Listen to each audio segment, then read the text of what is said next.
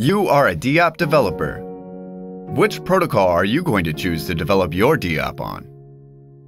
The problem is the platform risk.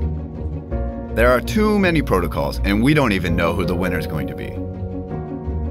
Every blockchain protocol is unique, but none is perfect. Some are stable, but slow. Some are fast, but unstable. All these blockchains have different pros and cons, and there's no perfect solution. That's why it's risky to rely on one blockchain as a platform. More importantly, there's always a serious mismatch between DApps and blockchain protocols. DApps always have to deal with the problems the blockchain has. That's where Bifrost comes in.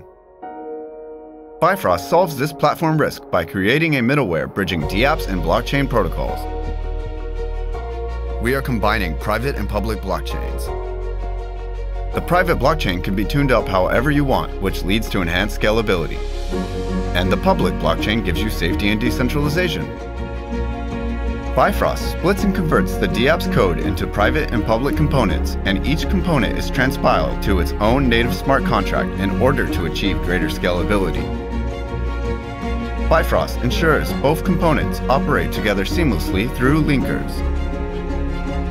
Any private or public blockchain can be chosen and customized for different functions, such as scalability or privacy.